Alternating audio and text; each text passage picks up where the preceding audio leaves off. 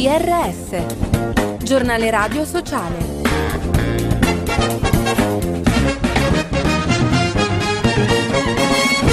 Bentrovati all'ascolto del giornale radio sociale in studio Stefano Milani. La Matti per il calcio si conclude domani a Montecatini l'undicesima edizione della rassegna nazionale dei centri di salute mentale organizzata dalla WISP, un progetto che aiuta fattivamente gli utenti affetti da varie forme di disagio riaprendoli alla socialità, come ci spiega un'operatrice Francesca Cappai. Ci sono dei segni di miglioramento in termini proprio di acquisizione di autonomie, di miglioramento dell'autostima e soprattutto un rinforzamento rispetto alle relazioni che eh, purtroppo la malattia mentale impedisce e crea appunto delle difficoltà.